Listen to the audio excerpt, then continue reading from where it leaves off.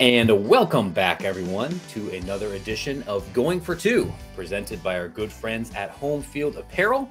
I am your host, the publisher of the Extra Points newsletter, Matt Brown. I am joined here by my D1 Ticker colleague, Bryan Fischer. We apologize for the schedule being a little bit different this week. There's, as, as you can imagine, there's a lot going on in the world, particularly here in the United States. We're recording here on a Wednesday afternoon. Normally, we do this on, on, on Tuesdays. And I, think now there's a lot less anxiety in the world now that we know all the votes have been tabulated, all of the elections done, and we can see now very clearly that University of New Orleans students do not want to pay an extra fee to add football at their university. That's, that's what we're all freaking out about, right? Exactly. Yeah. Yeah. I, I, was, I saw that as, as, soon as I saw that news release, I was like, you know what? Matt Brown is absolutely going to say something about New Orleans football in, in this release.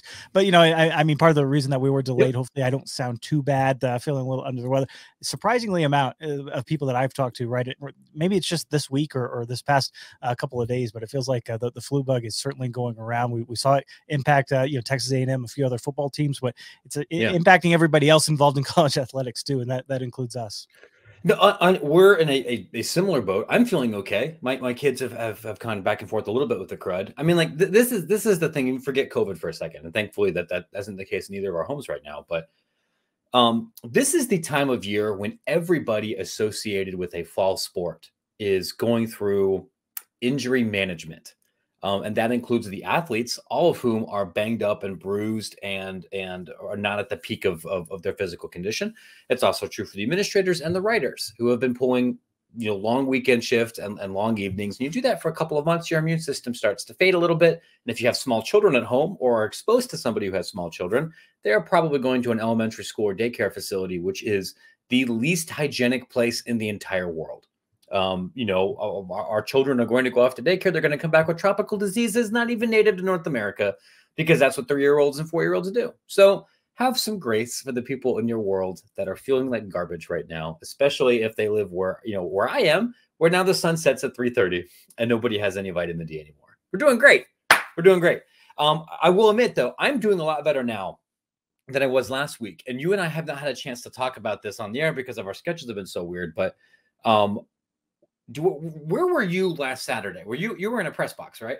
No, I, I, I was at home just uh, because home. of because of the bugs and and uh, keeping everybody right. at, at home. But uh, I got, got to watch a lot of football. Uh, some of it good, some of it bad. I, I, think it was fun to see a lot of the weather events uh, around the country. I was actually talking with the special teams coach uh, the other day. You know, just talking about how, how they prepare for things and you know the spraying of the water on the, on the footballs. But sounds like that that kind of came in handy for a few games, including the one you were at. Yeah, that that's definitely true. I'm glad that you were at home. I'm glad that you were recovering a little bit normally I do most fall Saturdays for my home office or sometimes at a friend's house where there's multiple televisions. But I do try to go to games uh, as a reporter a couple of times a year. I'm going to one next week. But last week, I decided to do something I don't do very often, which is go to a football game as a fan. I went. I I'm, i live in Chicago. My father-in-law lives in Evanston. He teaches at Kel, uh, at Kellogg, which is Northwestern's business school. And I thought, you know what would be some fun father uh, father-in-law son bonding experience here? And i invited my, my my brothers my brothers-in-law too who are all unfortunately working. Let's go to the ohio state northwestern game. Tickets shouldn't be terribly expensive. Um, this you know this is a chance for me to be in my natural habitat. I get to watch my, my alma mater and get to be in the stands. It should be fun. So we went and i bought these tickets without knowing that we would be facing a hurricane level weather event in chicago and this was true I guess in a lot of the country, certainly within the Midwest last Saturday. And I have to I have to tell you guys something. This was a thoroughly unpleasant experience on almost every level. And uh, you can't totally blame Northwestern or Ryan Field for the fact that we had 70 mile an hour winds and it was pouring rain uh, for a third of that time. No, no, no, no anywhere you are, it's going to suck to be outside. But one of the things I was thinking about that I, I don't think about as often because normally when I'm at these stadiums, I'm in a press box or I'm at places that are gigantic. But even if you have relatively modest attendance, and I'm guessing there might have been, I don't know, 30,000 people or something actually at that game, when they have to leave the bleachers because of a weather event or something, or because it's halftime and they all want to go to the bathroom, they all go into the tunnels, right? Or uh, and and those pathways are not nearly equipped to handle everybody in the stadium being in there at once, which means then that you're just shoulder to shoulder, face to butt with an unmoving crowd that I mean that can't even like literally exit the stadium. And I remember sitting in there thinking like forget the fact that there's no cell service here, which is unusual for a stadium that's not even close to actually full. You you once you get onto Ryan Field, you you, you you can't text or do anything. But I was also thinking there i mean if there was a stampede or if there was if somebody heard a gunshot or if they heard like uh if you had to evacuate the stadium i would be legitimately afraid for my life um because this and it's not because i think northwestern did anything irresponsible it's just like this facility is not built to accommodate this number of people in this confined space space trying to leave and i don't even know how you alleviate that but like that in my mind and the garbage weather and the fact that this is a, a kind of a prehistoric stadium that's really I have you been to Ryan Field? I, have been to Ryan Field, but not for a game. I, uh, Northwestern has never risen to the, the, the level where it's taken me to, to actually go cover a game there. Yeah, I, I would say, and this I don't mean this entirely pejoratively. It reminds me a lot of some of the really good high school fields from where you grew up, um, in terms of like how the how the bleachers are laid out, where the scoreboard is, what the concessions uh, and and amenities and bathroom situations like. I think if you were at McAllen or something or some suburban DFW program, it would it would be a slightly larger version of that. And I just remember thinking, like, I don't blame anybody who doesn't want to go to this experience because if the weather's bad or if there's some other kind of mitigating event, it's very unpleasant. It's not super easy to get to. Parking's a disaster. But even if everything was perfect, I, as much as I like being appreciating the spectacle of college football and be around everything, I would have had a better experience at home which I, I, you know i kind of being there reminded me of like oh yeah this is why they're trying to basically tear this whole thing down and build a newer, more intimate, more modern stadium. Because regardless of the fact that Northwestern football sucks this year and has been mostly unwatchable, even when they're good, unless you like gentrified Iowa football, which I do not, other people do. Um, it's that was my first experience in a while of going to a stadium where I thought like the actual facility has made this experience a little bit unpleasant. Has have you ever had a moment like that for you? Like I'm guessing you probably don't go as a regular fan to college football games very often. You're generally working. Is there ever, can you recall a time in your life when you're like, my experience at this event is diminished because of where it where it is and what's happening outside?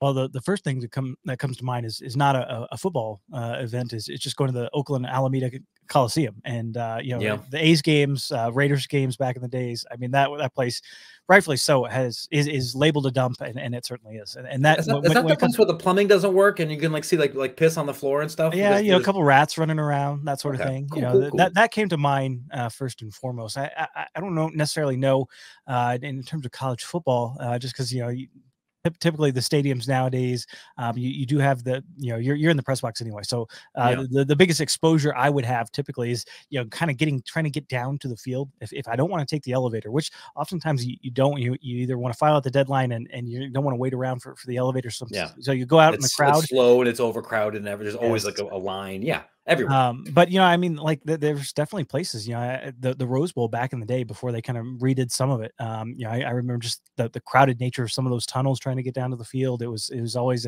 an unpleasant experience. But you know, this this is the the, the case. You know, with, with, some a lot of older stadiums, and and that is what Ryan Field is is a, an older stadium. And you can yeah. understand, especially look at how how fancy those renderings look like. Uh, you know, why this this could be a tear it down and and uh, build it back up uh, type of situation. Yeah, I, I, I am fascinated about that particular place specifically. I recognize that not everybody tuned in here just to talk about Ryan Field, but like uh, the, beyond the fact that the the existing facility isn't great, and you know, if like for me, like I could walk there because my in laws live in Evanston, and I could just park in their driveway and go walk. It's not a super convenient place for public transit or from highway access, and it's in kind of a residential part of of, of the city.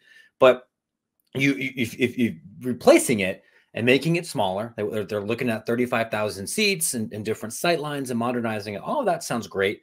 And I think even if they wouldn't admit it in public, if we talked to every Power Five athletic director and said, we're going to blow up your stadium with dynamite and you're going to rebuild it, how many of you are going to rebuild your stadium with like 75% of the current capacity?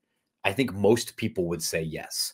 Places that are uh, that closer to like what TCU or Utah have in terms of capacity, I think would, would be far more the standard than a, a 90 or 85,000 seat or, or above uh, kind of facility outside of a handful of exceptions. But there's also the, yeah, oh, interesting you mentioned yeah. Utah because that is actually one of the few stadiums that, that I have have expanded bigger. Capacity. Yeah, and and that that's mostly because it was kind of smaller to, to start off with. But uh, you know, I, I, remember back in the day going to the old Stanford Stadium. You know that that place was was definitely down there. But you know, the new place uh, certainly even even now, you know, a little bit probably too big. But uh, they they downsized uh, quite quite a bit from the old stadium, mm-hmm. which ended up hosting you know Super Bowls and, and all that back in yeah. the day. But uh, you know, the, the new place is is gleaming and, and the seats are nice. It's just it just did not get the the fill of, of, of the, the home team there. But yeah, maybe maybe that changes when the product's different. Maybe not. I know I we we, we can you know they're they're fighting their students right now over whether they support fun or something. Yeah. Which is well, I think that the important yeah. thing is you know in terms of the right sizing nature of, of of football stadiums is it can be difficult a little bit. You know, I, I think if you're certainly in Big Ten territory where you do have those massive alumni bases, you know, yeah, you can go on the bigger side. But if you're out west in the Pac-12, uh, I think that's been been something that that a lot of the Pac-12 schools have looked at. You know, I, yeah. I think uh, Husky Stadium when, when, they redid that uh, downsized a little bit uh, from, from their peak capacity there, but um, you know, the, the, it, it's not just about amenities. It's, it's, about making sure that you can provide that premium experience. And you know, a lot of times when we talk about downsizing, it's maybe not footprint wise uh, downsizing, but it's you know taking out you know here here's let's let's take out three rows here and we can make a put it put in a suite. We can maximize our revenue per square footage, and, and I think that's what a lot of athletic departments are, are really focused on is is not just the capacity but but actually maximizing that revenue from from what you got on there because sometimes uh, a lot of these on-campus stadiums in, in, particular you're just simply landlocked you know and, and you can't really yeah. kind of do anything so uh, that is kind of the, the primary driver there it, it is you're right. You are landlocked. You can't move the university to the suburbs. You can't do what the Chicago Bears might be doing and you know slip off to Arlington Heights to go to have a, a bigger footprint or, or more flexibility it's pretty rare to do that if you were on campus to then move off campus, especially because it's hard to get students to actually go uh, to that kind of thing. But you know, with the Northwestern uh, situation specifically, you also have political considerations, and this is already coming up here. I saw with the the Chicago Tribune story, which I can drop here in the in the show notes. Like there are Evanston residents that are I mean, the, the the the concern I think I saw in the Tribune was you have people that are worried about the new Ryan Field becoming like Wrigleyville which is deeply funny because it assumes that anybody would go to Evanston to have a party at any time at any, on any level. Um, and or, or that you were going to get those kind of crowds or have that those number of games. Like we're looking at the stadium being used 15 times a year, maybe, you know, for things in, in, in independent of football. But it, it, you know, there's a reason this place doesn't have permanent lights.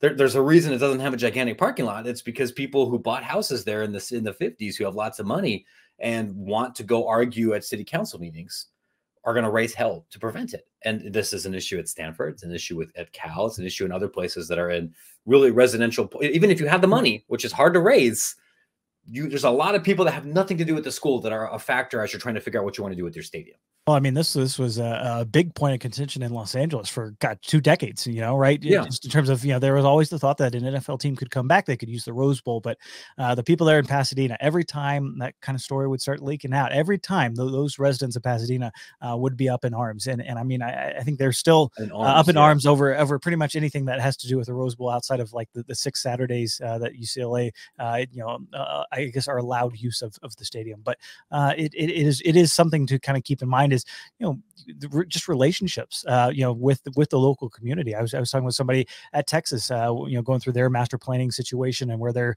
they just added their, their new basketball arenas that they had to move some things around to, to do new tennis courts and whatnot. And, and you do have to involve a lot of you know local partners uh, in that and, and make sure that uh, the community is okay with what you're doing because uh, if not, you know, that that project that might take uh, you know two years in, in terms of the planning document, it might take three years. You know, you, you might get an, an extra environmental report or something like that, and then it just continues to drag out. So, you, you know, for, for a lot of these universities, you, you do have to work with the local community, not just uh, in terms of making sure that the facility yep. is right for for you, but but also for the community itself.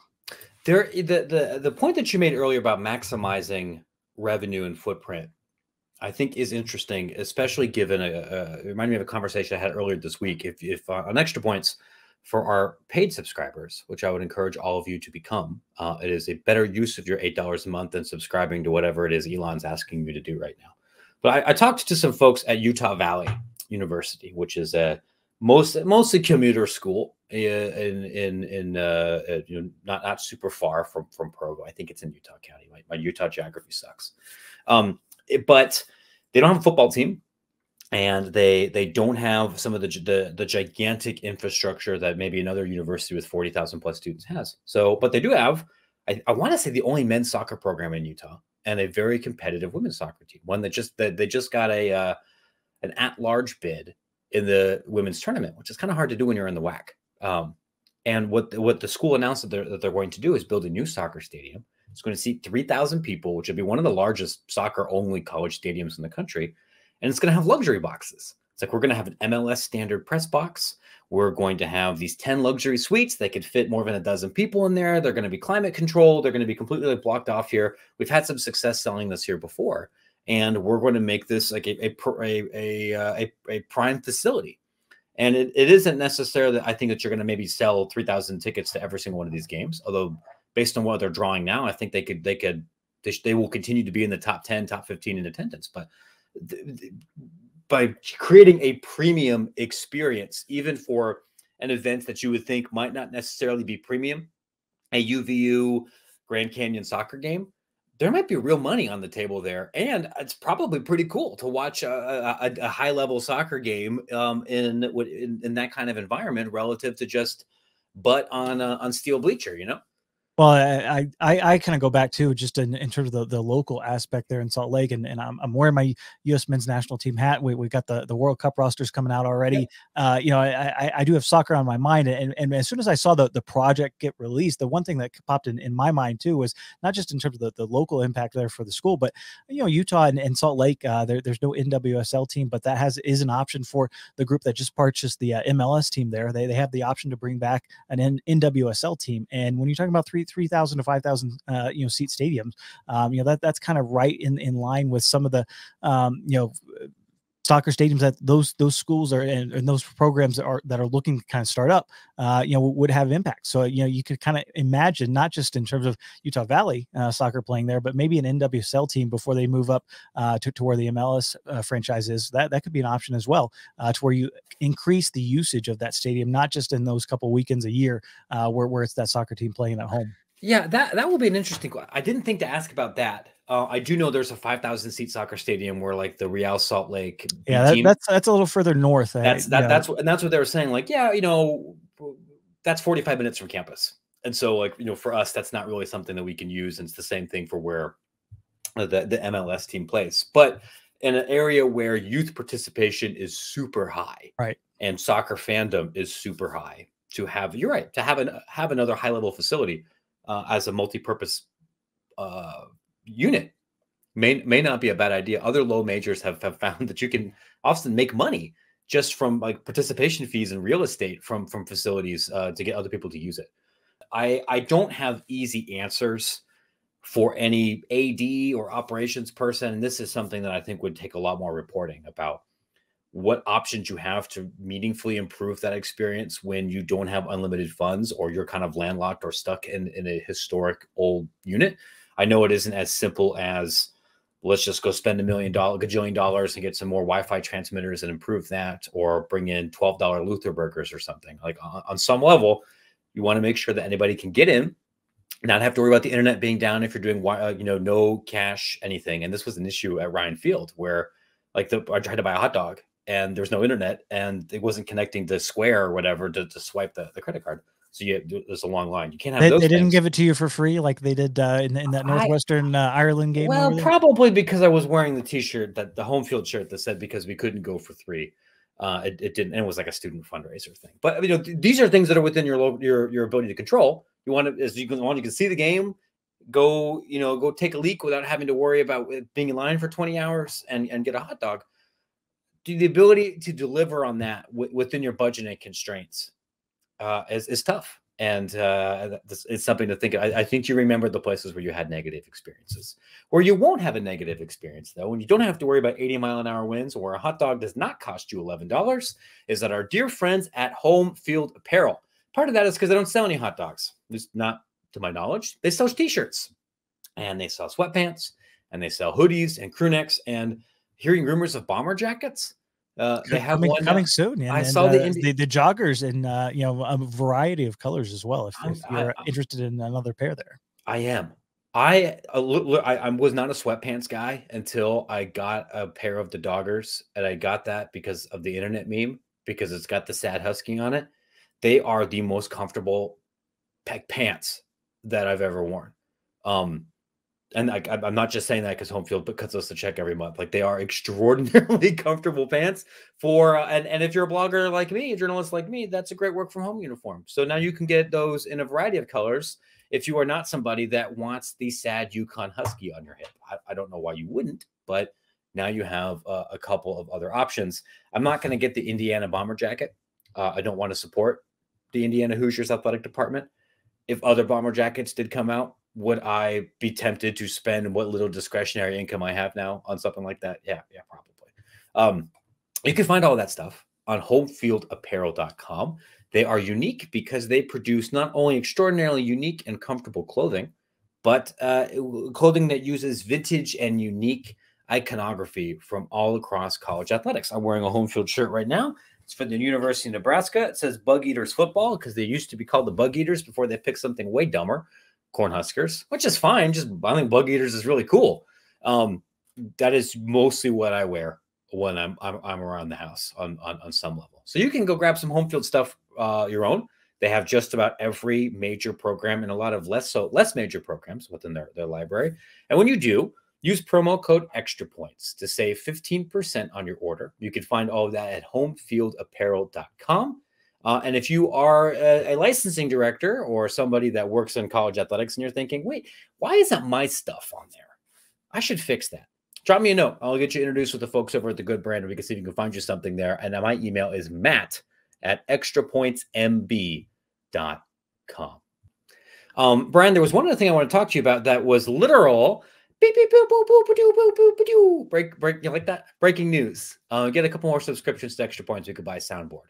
Um, I, I, got that capability. We, we could, you, you oh, okay. All right. Next next time we'll we'll get a breaking news sound for like the one time every six months where we would actually use it. While we were talking here on a Thursday, uh, a Wednesday afternoon, Conference USA has just signed their media deal.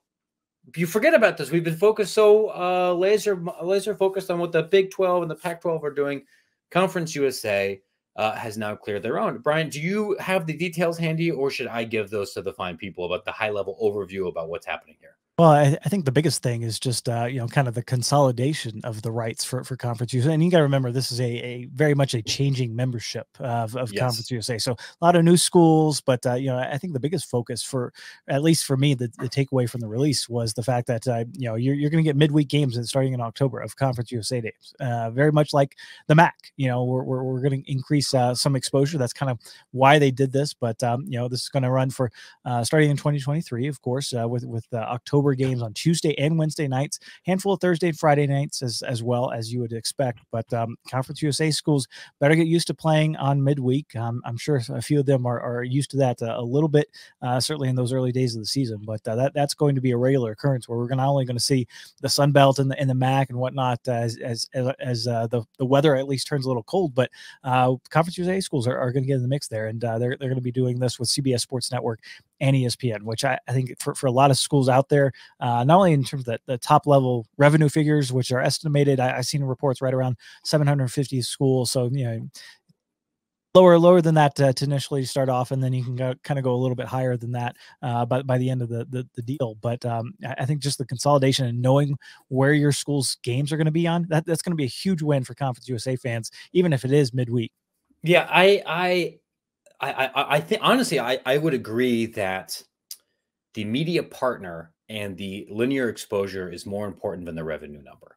Um, a major source of consternation among fans of Conference USA uh, schools, and something that I heard from people that worked for institutions that departed, wasn't just frustration about the money, and the money really wasn't great, but you had Conference USA's games that might have been on ESPN or on a CBS network or on Stadium or on Facebook. Or there was an NFL network for a minute. You remember beIN? Uh, or oh, yeah. BN? Yeah, right. Like the the the the station that typically shows like uh Real Madrid handball and like indoor field hockey and everything, and, and European sports was also carrying Florida International sometimes. So now you're right. You know where you're going to be able to find your games on some ESPN family, presumably ESPN Plus, CBS Sports Network. I'm not sure at the moment if Paramount Plus or any other uh, streaming option. Is, I would imagine just uh, knowing how pretty much all of these deals are structured uh, lately is, is there will be that kind of direct to consumer offering uh, over the top as, as well, just as included as part of this deal. So uh, I'm sure not only are those games going to end up on ESPN Plus, but I would imagine uh, things like Paramount Plus are going to stream them, even if they are on CBS Sports Network on your on your cable package as well. Yeah, CBS also getting the Conference USA championship game, men's basketball championship game, women's basketball championship game, and championship games in other sports like Conference USA baseball may, may end up actually being being pretty solid. So you'd be able to find that there. Big win. Um, I don't know how much the money matters because the difference between having worse exposure and like 1.1 million or 1.2 million and uh, 750,000, but people will be able to, meanwhile, will be able to find your game. I think at that level, even though none of these schools other than Liberty have lots of money, you would take the 750K. Like the, it, it, the Sports Business Journal is reporting that that's going to be like a little bit less than the MAC and what the Sun Belt will be getting over the course of the deal. That's probably true, but I mean, the inventory is way, way yeah. Let's face it. You know, this is right now, right? This like, is the the the number ten FBS league. Um, you know, I mean, yeah. uh, just for, in terms of the membership, and and I think beyond the money, which I, I think would be meaningful for for the the teams coming up, like Jacksonville State, you know, Kennesaw State. Yeah, you know, seven hundred fifty for for them sounds probably probably great.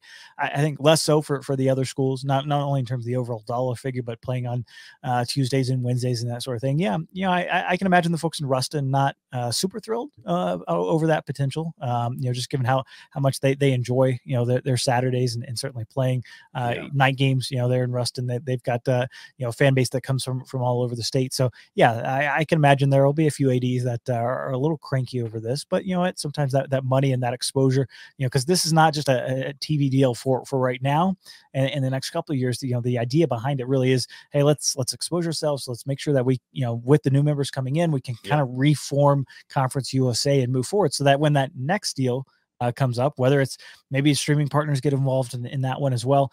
Maybe that's when you can kind of see the, the bigger bump in terms of the, the, the actual media rights revenue. Yeah, getting into the weeds about the money is going to be fascinating because there's there's always a push and pull when you're playing on on on weekdays, and this is something I hear from so many uh, fans and administrators in the MAC as like we love the television exposure. We love it. That's become part of our brand with with MACtion and the pirate flag and the, this whole part of the identity. And what that does is it allows the nation to share some ownership and to share some connection to our MAC institutions and MAC football. And that's cool. If you're if you're a college football sicko or degenerate, whether you're in Massachusetts or Texas or Oregon, you uh, probably watch some MACtion. You know what you know what that is. You know what that identity is going to be.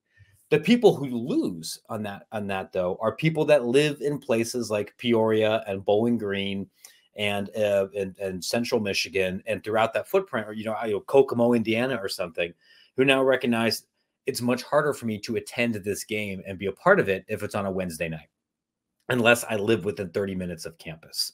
If you, no one wants to go drive 90 minutes or two hours up Route 75 to go to a Bowling Green game and then all the way back down again to get home at one o'clock in the morning on a school night or, or on a weekday. Uh, and especially when these games are all going to be in the evenings and the weather in the industrial Midwest at that time often completely sucks, which is why you might sometimes see MACtion games where the on pro- the on-field product can be pretty cool and there's 4,000 people in the stands.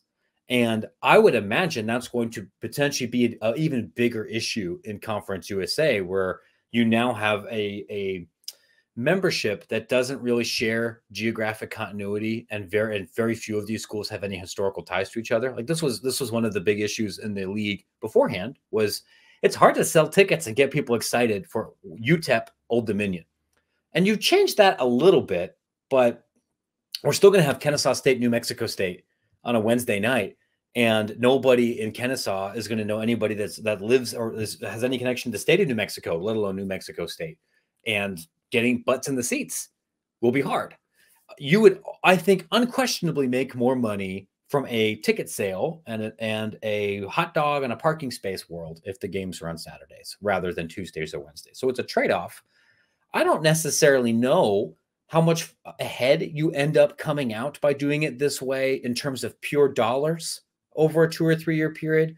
But when you recognize the exposure and your ability to interface with all of your fans and what this means for your football program, I don't know if you have a choice. So I mean, like, I wouldn't necessarily like, you know, stick up, stick a feather in my cap and, and strut around and being so excited about all the money that you're getting here. Cause that's, I don't think that that's, that's the reality. But if your relationship with Conference USA football or Conference USA basketball is primarily through television rather than like getting a beer in Ruston, it's probably a better thing for you. Does that, does that make sense? Yeah, and I, I, mean, definitely, you talk with some some ads and and people in, involved in development at a lot of these schools. You know, they, they do mention how how difficult it is to make those connections that you normally get on a, a college football Saturday with, especially yeah. some of those high level donors. You know, in terms yeah. of uh, you know, they, they might they might be busy. they, they they got businesses to run, uh, and, and, they can't get away for for a Tuesday or Wednesday game. And when you only have you're really six opportunities at most at uh, at the kind of group of five level, because uh, you are getting some of those buy games.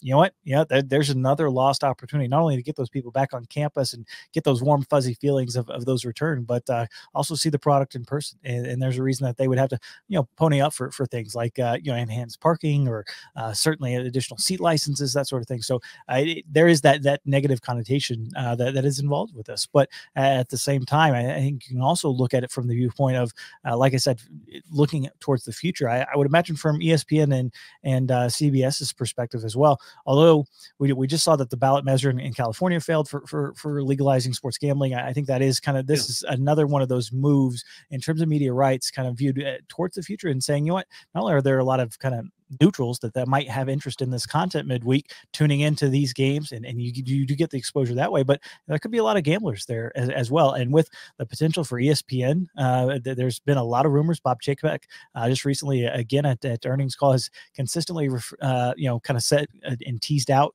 that uh, espn would have some sort of gambling uh, product if, if you will. There's kind of some some loose ties right now but you, you got to think that you know what if, if you're watching watching along at home watching a, a louisiana tech game on your ESPN app and you're able to bet on it, that that can draw a little bit more attention than, than it even would. And I'm sure is kind of part of their thinking in, involved in this package as well. Yeah, I, I don't want this. There's no way to say this without it being mean, but I think if we're being really honest in our heart of hearts, there's probably more people who are going to be watching all of a Florida International um, Kennesaw game in 2024 because they have money on it or because they have some kind of gambling interest rather than a a fandom um, or or a tie to the athletes or the communities themselves. And, and and if we're being honest, a lot of that's true for the MAC. A lot of that's true for mid for mid major basketball. And I don't have good answers about the best way to program for that or who owns you know who owns that community or content or like the, these it's hard for me. That's a blind spot for me, right? Because it's hard for me then to separate my own maybe personal distaste of the gambling industry versus the need to also make enough money to provide for athlete interests. So I I, I don't want to sit there and you know I, people get yelled at on a message board or something like here's Matt's anti-conference USA bias coming out here again. Like I I don't know the best. I think you're absolutely right. I don't know the best. What, what would be the, the best way to handle those interests? You know what I mean? Oh yeah, absolutely. And, and I mean, I, I think it's uh, again why CUSA is, is kind of caught between a rock and a hard place. Just given them the membership changes, just given where they are in the in the landscape. You know, I mean, I, I think more than anything, they're probably looking at more money uh, coming through the college football playoff than, than this media deal. Uh, would be my guess down the road, depending on what uh, some of the revenue payouts are. I know at least in, in terms of the short term, uh, if, yeah. if, the once the the uh, 12 teamer gets gets into place in, in, in 2024, that you know they're, they're probably looking at you know a decent bump there. So you probably end up you know when you throw in the NCAA tournament distributions, yeah, you, will be a little bit over, you know, a million dollars per school. But um, you know, there, there's a lot of things, you know, kind of at play here, uh, not just for for Conference USA schools, but I think in terms of the general media ecosystem. And we saw uh, some additional reports this week again of, of Netflix possibly getting involved in some sports rights for for some um, you know kind of off off the radar uh, sports as well, like tennis, uh, right? Yeah, or, tennis, yeah. Um, volleyball. You know, I, I, think some of those uh, windsurfing, you know, stuff like that. Um, you know, sure. and, and you can understand as Netflix, Netflix is coming for that ass flow. Like you, you better be ready. well, as they launch launch an ad tier, you know, I, I think that that's going to be the, the very interesting thing to keep in mind is with Warner Brothers Discovery launching an ad tier and in terms of their new HBO Max Discovery product, you got D, ES, uh, Disney Plus and, and ESPN Plus. Uh, obviously, they're launching another ad supported tier. As these streamers start to launch the ad tiers, maybe that's a, where a lot of the money can come for additional sports rights because that's that's, yeah. that's a differentiator that uh, Disney does have in their pocket that and Netflix does not. And when you're talking about churn, and when you talk with all the the Wall Street analysts, I, I know we're getting into the weeds here based off a, a conversation about Conference USA, but no, uh, when, when you talk with those those analysts, this about, is the point of this show is to yeah. get into those weeds. That's okay. But you, you, talk with those those Wall Street analysts. What do they talk about? They want they talk about churn because it is so easy to turn on and off a subscription. And uh, I, I, know a lot of them kind of look at the marketplace and think most families, especially nowadays, uh, given how how uh, wallets are, are getting pinched, you know what? Maybe it's only two or three services that you might want to end up subscribing to, and you might rotate on and off of, of a Netflix or an HBO Max. And what is the, the, the great equalizer in terms of making sure that, especially sports fans, are subscribed uh, throughout the year? Well, it is that live sports content, and uh, you know whether you're a Conference USA fan, I, I would imagine just given the uh, you know deals that we're seeing in the future, you know what, you're you're you're probably going to be looking at uh, five or seven you know bucks a month uh, in terms of espn plus or you know, paramount plus like we mentioned earlier and, and that'll be uh, another component down the road of, of media deals like this yeah i gotta tell you guys uh, i am acutely sensitive to the idea of subscription fatigue and of people uh, ramping up and down their various subscription commitments as they're deciding what to do with their discretionary income seeing as that is literally my entire business uh, and some of these things are kind of mandatory, and I recognize that some of them aren't. Um, we can have a separate conversation, probably for another episode, because this one's about winding down about whether this trend is good for consumers generally. I'm, I'm typically inclined to argue that it isn't, and it does stink that stuff that you did not used to have to directly pay for you are now going to have to pay for. And in many respects, it's still a worse experience than what you had in 2009 uh, 2011 with with with cable television, where where HD was still pretty ubiquitous. Uh, but I could be wrong, and we don't know what other kind of functionality or anything else is, is, is gonna is gonna be added here. Like, yeah, everybody is gonna have to eh, budget five, seven, ten bucks a month if you're a college sports fan to watch the majority of stuff for your favorite school. If you're a Big Ten fan or a fan of a Big Ten institution, like I know that when this Big Ten deal starts, if I want to watch every Ohio State men's basketball game, I am going to have to pay for uh, Peacock. Um, and uh, if I want to watch every Ohio State football game over the course of like a four year period, I'm going to have to buy Peacock. Um, I would never buy Peacock. I don't even. I literally don't even know what else is like. This is if I wanted to watch like like a Law and Order rerun um or well, I, I, I got it for for all well, for for, for I'm thinking for, like, for yeah okay I'm I don't watch the EPL but if like if I'm thinking like non-sport stuff like there's nothing that there's would, not a whole lot there yeah I mean unless you're watching uh, a lot of, a lot of lot yeah the Office is, is definitely one. They, they've been you know spending a, a lot of the you know uh, stuff on original content. I, I, I put it out there yesterday. Uh, you can go on my, on my Twitter page and, and find it. Uh, some of the losses that uh, these streamers are incurring you know several billion dollars even if you add it all up though it's it's nothing compared to what Facebook is is blowing on on some of their metaverse content. You know, it's like eight billion dollars for Disney and and Warner Brothers Discovery, yeah, and uh, you know Peacock. Those all those you know like eight billion dollars worth of losses uh, th- this fiscal year. You know, yeah, 2022. It's a great and, uh, business. Uh, it's it's it, it's fun, and, and and you know sports rights are going to continue to go up. You know, I saw another report out there. The NBA is looking to sell it to a streamer about a billion dollar a year package that's going to be a very big bellwether i think is, is that those nba rights and what ends up happening to them especially in relation to the college football playoff which will be hitting the market probably right after that um, you know officially so uh, yeah. a lot, lot moving on in, in, in the media space and, and it's going to continue to change because I, I, think everybody understands that the, the days of certainly tv kind of paying for uh, these streaming losses it, it's starting to be over and, and now there's there's going to be a reckoning not only on wall street but in these boardrooms about hey how, how are we actually affording uh, some of this? It's one thing to to get a Conference USA uh, media deal uh, done where it's kind of relatively uh, you know some some pennies, but when you're talking about spending on Big Ten rights, when you're talking about spending on Pac-12 rights, Big 12, you know what? There, there's there's going to be some some dollars and cents that need to get justified as well. Well, it's just there's one thing I've learned, I think, since launching Extra Points, it's that money isn't real. Buyout money isn't real. Media rights revenue isn't real how you finance stadium construction. It's not real. Crypto's not real. None of this stuff's real. We definitely learned that this week. Yeah. Um, but what is real is, of course, the eight dollars that you might spend on a full extra point subscription, which gives you every single extra points newsletter that we publish.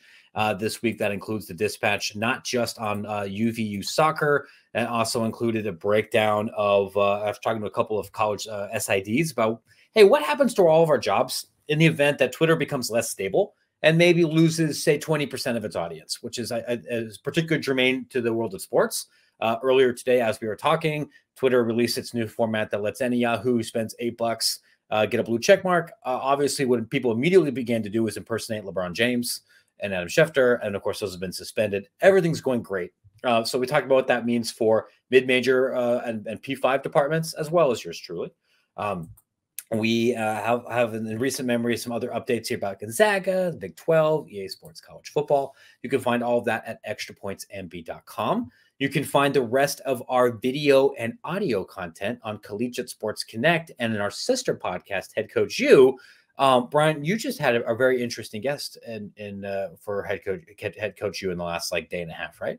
Yeah, uh, this week's episode uh, featured Ruffin McNeill, uh, former East Carolina head that's, coach. That's you know. who it was. I and, love uh, Ruffin. He's a special assistant uh, there at NC State with to, to Dave Doeren. But uh, one of like I, I, mentioned it during the episode, you know, in terms of the Q rating of that one, coaches just just love Ruffin. He's he's uh, one of the best I think in the business. Always great to talk to. But you know, it was fun to, to chat with him not only about his experiences in, in college football and, and, even working with with Bronco Mendenhall uh, there at Virginia, but you know, just he he he goes back to you know there there's segregationists in in the South. You know, back when he was growing up, and he comes from a, yeah. family of educators and, and, growing up in that environment. How he translates that into uh, you know there there with the Wolfpack in, in Raleigh, and um, you know he he's definitely uh, one of the one of the best characters in, in all of college football So it's great to catch up with him. Great to great to connect and, and, and talk about some of the uh, leadership uh, skills and, and and topics of uh, that are relevant to all all college football fans. So uh, be sure to check that out on the HeadCoachU feed. And uh, we got a couple of other guests lined up for the next couple of weeks as we uh, kind of hit the home stretch here in the in the fall. We sh- you should definitely make some time with Ruffin. Ruffin's got a big personality. I, I say this as somebody who's shamelessly in the in the tank for the ECU Pirates. I love that guy. They never should have fired him. Never should have. No, the, no, that that that is the, you know, one of the three great examples I think of our lifetime of uh, of of hubris when it comes to firing a coach, especially somebody that I think went to ECU and is beloved in that part of the state. Um, if you are sick of the guy who is winning a lot of games, not winning more, by God, it could get so much worse. Um, it is the um, the Glen Mason pro, uh, example uh, of for for Minnesota um, and of course with Nebraska. Um, these it can always get so so much oh, worse. Yeah. Well, yep. and, and Ruffin in, in, particular, I mean, he he's got a fascinating not life story, not not even just in terms of growing up, but you know, he played at ECU for Pat Dye. Uh, you know, he's he's coached under Mike Leach and, and now Dave Doeren, and you know, he's yeah. been with Bronco. He's been with a, a lot of interesting characters. I I, remember, uh, you know, spending gosh, we probably spent, sat down and, and spent 20 minutes. I, I remember when uh, Oklahoma, we, when he worked with Lincoln Riley at Oklahoma, uh, and they come came out for the Rose Bowl against the, that game against Georgia, and I, I just you know was was great catching up with him then and in person and, and then again over uh, video here for HeadCoachU. But uh, definitely one of, one of the great characters in college football. And we need more Ruffin McNeills in, in the game. That is for sure. Yeah, for a lot of different reasons. You can find all of that there. That is all free. Uh, and of course, if you enjoy this program, we would uh, encourage you to uh, subscribe, whether that's on Apple, Spotify, YouTube, or anywhere else, and to let somebody else know as we are trying to continue to grow this into next year and post football season. Uh, in the meantime, I am Matt. That is Bryan. You can find me at Matt Brown EP on Twitter and at extrapointsmb.com. Thank you for listening. We'll be in touch with you again very soon.